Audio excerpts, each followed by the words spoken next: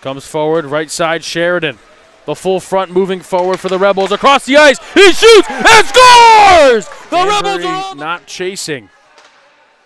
Panchizin. They're staying really close to the slot as Panchizin comes in across the way and he scores!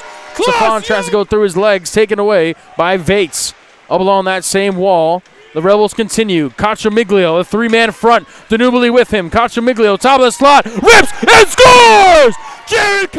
Gaucher comes to left side, poking through. Pan Panchizin now second, had 21 with 54 points in the season, 33 assists. Otwell puts one in, and another goal